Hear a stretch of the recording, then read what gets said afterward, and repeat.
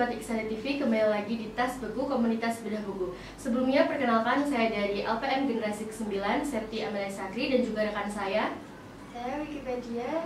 Eh, di sini saya akan membedah buku yang berjudul Seluk Beluk Coronavirus. Eh, Untuk sinopsisnya Kak Wiki bisa diceritakan sedikit Di buku ini angka kasus terkonfirmasi COVID-19 semakin secara global semakin naik. Sampai saat ini bukan belum ada pen- pengobatan yang dapat menyembuhkan infeksi tersebut. Oleh karena itu, masyarakat sekitar dihimbau untuk selalu menjaga kesehatannya. Untuk video selengkapnya bisa simak video berikut ini Judul Seluk Beluk Covid Coronavirus Pengarang tim Profesor Dr. Anis Mkes PPK halaman buku 114 penerbit Ar Arzul Media Depok Selamat Selaman Yogyakarta tahun pencetakan 2020 ISBN 9780602313547 COVID-19 adalah akronim dari coronavirus disease angka 19 merupakan tahun ditemukan COVID-19. Sebelum nama COVID diresmikan, diberlakukan nama sementara yaitu 2019 nCoV. Angka 19 merujuk pada tahun, huruf N merujuk pada novel yang berarti new, dan COVID merujuk pada coronavirus.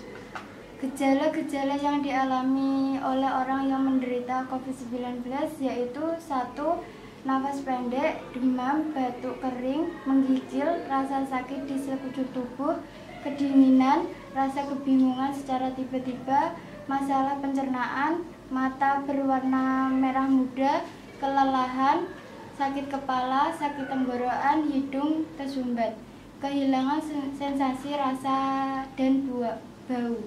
Cara penyebarannya yaitu se- per- percikan air liur, bersentuhan tangan atau wajah dengan orang yang terinfeksi, tinja atau feses, tapi itu jarang terjadi ketika terkena COVID-19. Pemeriksaan COVID-19 dapat dilakukan dengan rapid test, tes PCR, dan tes TCM.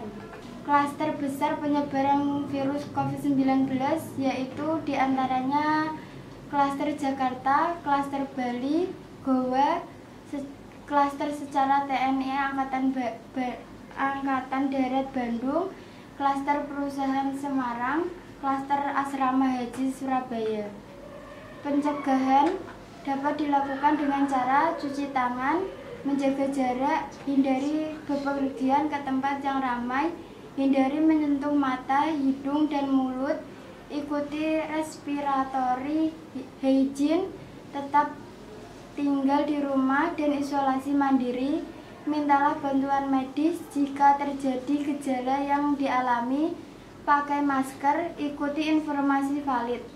Kegiatan yang dibatasi selama COVID-19 yaitu sekolah, bekerja di bekerja di kantor, kegiatan keagamaan, fasilitas umum, sosial budaya, transportasi umum, pertahanan dan keamanan.